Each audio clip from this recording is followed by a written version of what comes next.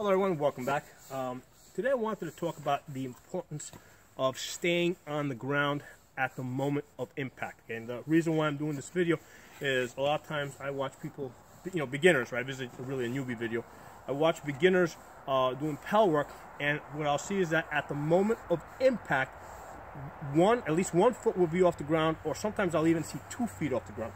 And what do I mean by that? So I'll see them come in, right? So as they strike, one foot still in the air, and then it lands, okay? So that's bad. You have very little control. You're not really transferring um, the force. Uh, what you want is at the moment of impact, right? Right. You see how my foot and the blade uh, made contact at the same time. Now this is regardless of whether I'm hitting a blade or I'm hitting a, a body. Okay.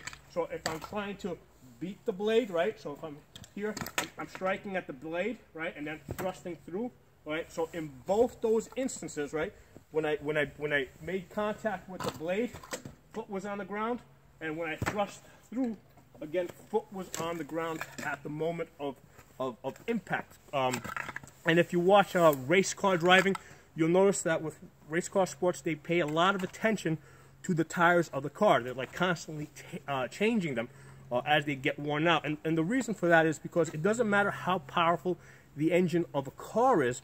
Um, if the tires are worn out and you're not able to transfer that force to the ground through the tires, you know, you're not going to be able to push the car forward. Okay, so all power, all you know, all power starts from the ground up. So that's why when we strike, okay, we want to make sure that we have contact at the moment of impact. Okay, whatever that is. Um, and th this applies to buckler as well. So if I pull out a buckler, you know, same deal at the moment of impact. Okay, at the moment of impact, I want both feet on the ground. Um, uh, and same thing goes with rapier fencing. Okay, so let's, let's put this down. And we can actually learn a lot from rapier fencers uh, fencers in general because they've been, uh, you know, they, they sort of have a continuing tradition. Um, but if, if, you notice that when if, if, they're fencing, right, they'll come out, they'll extend the arm to basically clear a pathway, and then when they strike, their blade and their foot hit the ground at the same time. Okay, so regardless whether they're looking to beat a blade and come in, okay, the blade and the foot hit the ground at the same time. You'll never see them um, come in, right, with one foot in the air, hit first, and then the foot goes on the ground, okay? Uh, that's also the reason why you'll see fencers make small steps, right? So they fencers make small steps like this so they can spend as much time on the ground as possible because if you're making big steps, right, your feet spend more time in the air. Uh, if you're making small steps, right, because you, now you can cover a lot of ground just by moving your feet really fast. Now, of course, if you're out of range, yeah, you can make larger steps, but when you come into range, you want to make small steps. Um, same thing would apply with, let's say, with long sword, right? So once I come into range, you know, you know, I can bait the person, but at the moment that I strike, both feet have to be at, at the ground at the moment of impact so I can transfer uh, that force. So um, this is one of the important things to really focus on because a lot of times people focus on a lot of the uh, more sophisticated cuts, um, but if your if your feet are not on the ground at the moment of the impact, you, are not going to you know even if your if the cut looks right, well you know it's not going to transfer the force the way it's supposed to transfer it. Um, as far as the historical manuals, they really don't talk to us a lot about footwork. Uh, in many cases, they really don't even show us the feet. So uh, when we're trying to recreate, um, you know, historical uh, fencing, we have to kind of piece these things together based on what we're able to see.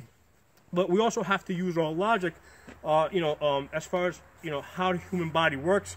Um, also, you know, we also bring in some um, uh, some knowledge from other martial arts, you know, and the same thing goes with boxing, right? So if you've got a boxer, if we're boxing, the same thing. At the moment of impact, you know, your feet are on the ground. You'll never see a, a boxer throw a shot while one foot's in the air. Now, let me not say never because sometimes weird things happen. So, for example, a lot of times, uh, the two two times that um, I might make I might make a strike when a foot's in the air.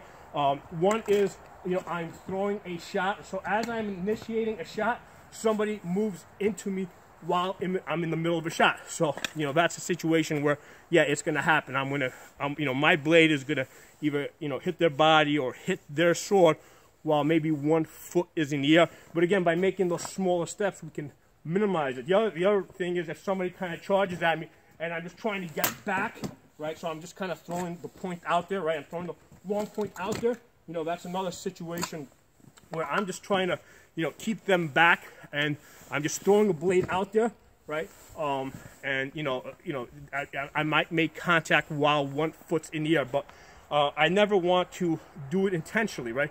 You know, so anytime I, anytime I'm, you know, I'm, i know I'm going to hit somebody or I'm going to try and hit somebody, I want to do it with both feet on the ground. So that's one of the things that you want to practice on your pell.